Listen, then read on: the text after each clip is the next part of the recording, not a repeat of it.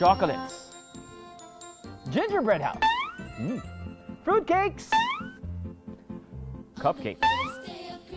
Cookies. And all the Christmas yummy goodies. Hmm, nagutom na ako eh. Kayo, nagutom ba kayo? Aha! Narinig niyo na ba ang kwento ng isang cookie o tinapay na hugis tao? Yan si Gingerbread Man o Gingerbread Boy. Ayon sa 1875 version ng St. Nicholas Tale, isang babaeng walang anak daw ang nag-bake ng isang gingerbread man na biglang nagkabuhay. Tumalon mula sa oven at tumakas. Hinabol pa raw ito ng babae at ng kanyang asawa pero hindi na nila naabutan. At sa layo ng takbo nito, sa huli ay nakain pa rin daw ito ng isang fox. Pero hindi lang daw galing sa kwento ang gingerbread. Isa raw kasi itong uri ng dessert na may halong spices at honey na naipakilala sa Europe ng mga 11th century crusaders kung saan bidbit nila ang ilang spices, particularly ang ginger. Ang gingerbread ay tinatawag na zingaber in Latin at gingerbras naman sa French. Dito sa Pilipinas, hindi lang recipe ng gingerbread ang na-discover. Alam niyo bang meron ding life-size na gingerbread house? Kasama ang Christmas elf ni Santa na si Ariane. Sasama namin kayong libutin ang gingerbread house na to.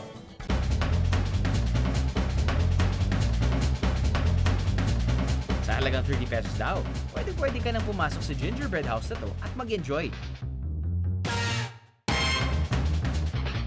Konsepto ng restaurant na to, nagsimula lang daw sa isang drawing ng limang bata Then one night we asked them, ano yung gusto nyo makita dun sa property that we bought? So, lahat sila, I wanna see some cupcakes, I wanna see some ice cream, I wanna see some chocolates, ganyan. So you'd realize that the things that you see around, iyon yung resulta nung drawing nila. Bukod sa idea nitong mula sa mga bagets, maraming din daw child-friendly activities dito na pwedeng gawin both ng kids at kids at the heart. Isa sa mga pinupuntahan dito sa gingerbread house ay yung pag-build din ng maliliit na gingerbread house na dedecoratean pa natin at yung mga gingerbread man.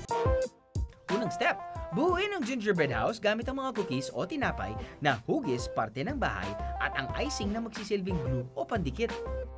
Bahay na siya oh. At ito yung pinto oh. Next step, ilagay na ang ilang decorations na gingerbread house gaya ng Christmas tree at iba pang mga detalye ng bahay.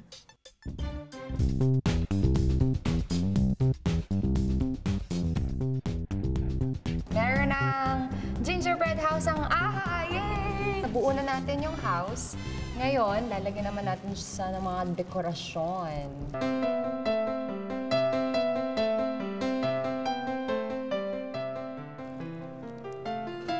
Ayan! Tapos na! The Aha Gingerbread House. Mga kapuso. After ng gingerbread house, syempre, dapat may gingerbread man din tayo. Gamit pa rin ang icing, lagyan ng lining as design ang gingerbread man.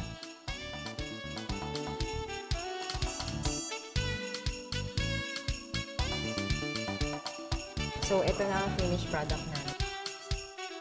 Bukod sa fun experience of making your own gingerbread man, oh, aba naman!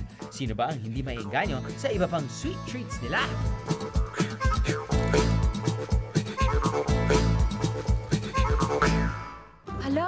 Magkagabi na pala. Naku, lagot ako. Kaila... Makinanap na ako ni Santa. Pero at least may mga masasabi ako kay Santa. Dito, pwede dito pupunta yung mga bata. Dito natin papapunta yung lahat. Kids, family, friends, Christmas vacation ba kamo or Christmas celebration. Dito na kayo sa Gingerbread House.